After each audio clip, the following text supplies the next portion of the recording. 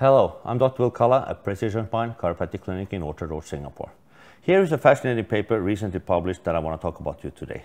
It's looking at the relationship between neck pain, cervical disc herniations, and cervical lordosis. And this is in people below age of 40 years old. So I want to read a part of the introduction for you. And the values are so well aligned that it could have been me writing the same thing. Chronic neck pain is common affliction in middle-aged and elderly patients with 30 to 50% prevalence and seriously affects their quality of life. The etiology of neck pain is complex and possibly related to disc herniation, facet joint, muscles, and ligaments. Due to excessive movements of the cervical spine, long-term bad posture and lifestyle choices, and soft tissue damage in the neck, cervical stability gradually decreases and can lead to loss of cervical lordosis. Abnormal cervical curvature, including excessive or meager cervical lordosis, loss of cervical curvature, kyphosis and complex cervical curvature is an early manifestation of degenerative changes in the spine. The normal cervical curvature is essential for maintaining balance and motor function. And any of the aforementioned abnormalities can destroy cervical spine structure, leading to biomechanical dysfunction, bone hyperplasia, that's bone spurs, cervical muscle injury, and ultimately cervical spondylosis. Therefore, it is very important to restore the normal cervical curvature while treating cervical spondylosis.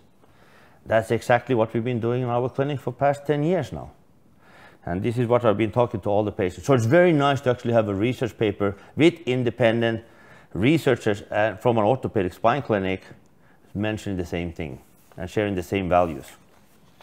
So in this study, they were looking at 300 people, uh, both males and females, pretty much evenly spread out and age ranging for 16 to 40 years old. Okay, so these people were actually going to an orthopedic department having neck pain already. So that is slightly skewed with some of the results, but they will also show some of the data when they randomly select these people. So what they were looking at, they took x-rays of all these people, and then they were starting measuring the neck. So if you look at a cervical curvature like this, cervical lordosis, when you're facing forward this way, they took a line from the top line of C2 to the bottom of C7, and then they measured how deep the curvature is. If it was above 7 millimeters, it was considered cervical lordosis. If it was below 7 millimeters and straight, it was considered straight neck. And if it was below 0 millimeters, it was considered kyphosis. So they split them evenly in uh, these three groups. Something that was very interesting here, a higher number of female patients were seen in the straight and kyphotic groups, over 60 percent. Then in, compared to the low lordosis group at 36%. So quite interesting spread that you actually have more females having loss of normal cervical lordosis, uh, either being a straight neck or even a kyphotic neck. They go on writing. In recent years, the lifestyle of the younger demography has become increasingly sedentary, with students and office workers spending long hours sitting in front of their computers, resulting in higher incidence of cervical curvature abnormalities. I would also add smartphone use is a big problem in this category. A lot of people are on the smartphone that they keep looping around on the screen like this, when in fact you should actually try to keep it in front of your face. In other papers that they were getting information from, Chinese teenagers with neck pain unreported cases of an abnormal cervical curvature.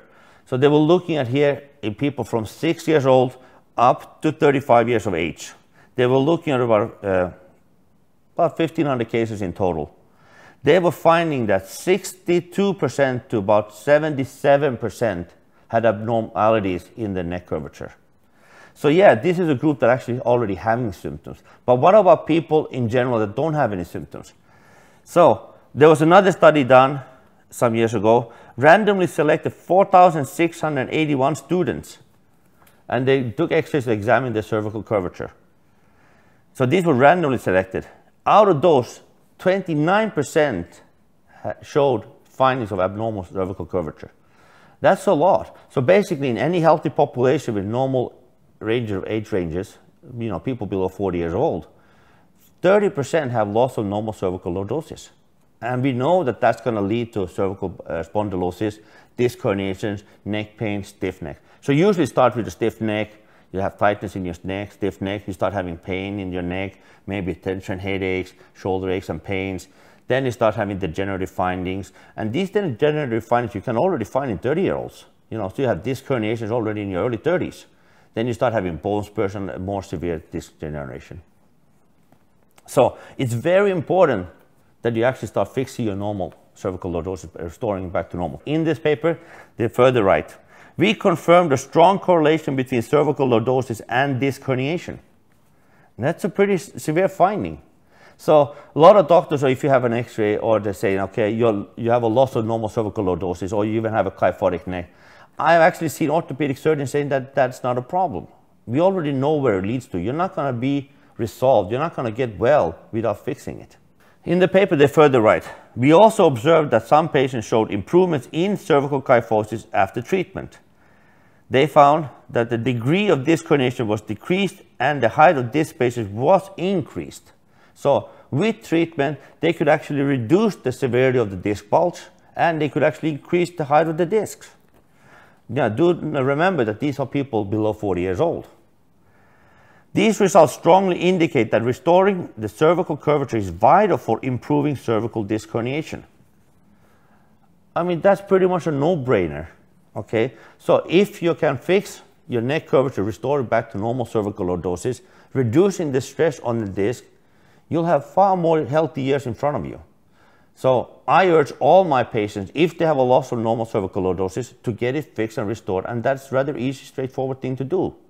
Okay, in our experience for the past 10 years, we can fix 9 out of 10 cases in two months, and that's in 24 sessions.